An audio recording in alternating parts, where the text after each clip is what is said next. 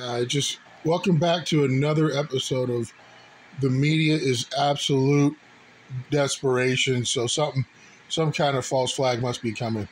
Uh, and um, so I mean, I can't even get ready for the day. I'm sitting here and I got this moron to the left on the background, and, and the utter lies and deceit and, and out of context news journalism here that you want to call it. They're absolutely not news journalism. They're fucking fake news.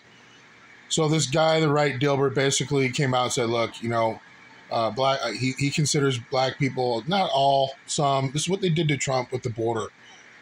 he considers some black people uh, to be racist and therefore no longer wants to assist them and I don't know, give to charities or whatever the fuck he was doing before. So he there was a poll that he cited on his Twitter that said like over a quarter uh, hate white people or don't uh, consider want to be around white people. Watch how Howie Kurtz on the left just completely ignores this. In which he calls black people a hate group.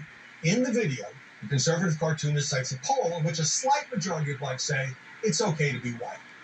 It's okay to be white? No, a slight majority over uh, over a quarter said that they do not like white people or they can they don't want to be around white people. I mean, look at this guy. This guy over the left. Look at his face, man. I mean, this guy will just sell his soul. To, where are you going to go, man? When when all this crashes down, and the race war that you want to uh, portend, where are you going to go? There's nowhere to go. What you think you're going to go hide on a beach in Indonesia? We'll be there too. We'll be there too.